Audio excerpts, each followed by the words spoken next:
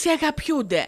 Αυτός είναι ο τίτλος του νέου συγκλονιστικού μυθιστορήματος από τη Βικτόρια Χίσλοπ, το οποίο παρουσιάστηκε στο φιλότεχνο κοινό του Ηρακλείου. Η αγάπη είναι ίσως το μόνο πράγμα που βοηθάει να επιβιώσουμε.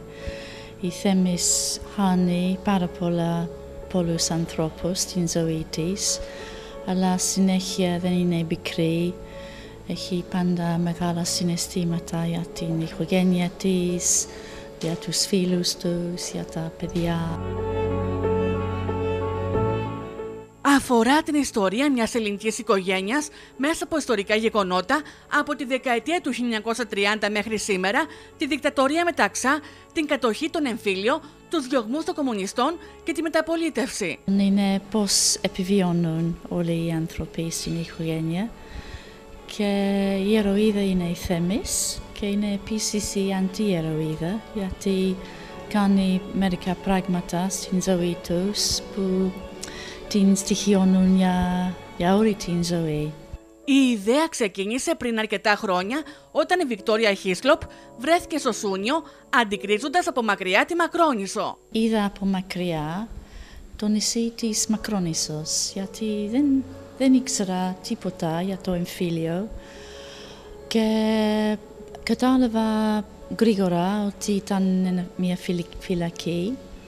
Λοιπόν, αυτό ήταν η αρχή και ήθελα να καταλάβω πιο πολύ για, για το εμφύλιο. Στην κατοχική Ελλάδα, η 15χρονη Θέμης βλέπει την οικογένειά της να ταλανίζεται από βαθιές πολιτικές διαφορές. Καθώς η δυστυχία μεγαλώνει γύρω της και οι φίλοι της χάνονται από την πείνα, η Θέμης μπαίνει στην αντίσταση. Βιώνει τον έρωτα, το μίσος και τον παραλογισμό του αδελφοκτόνου πολέμου.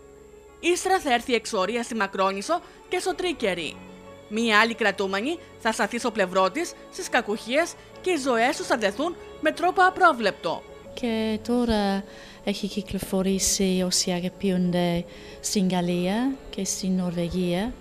Λοιπόν, έχει, έχει μια άλλη ζωή ένα βιβλίο. Ταξιδεύει.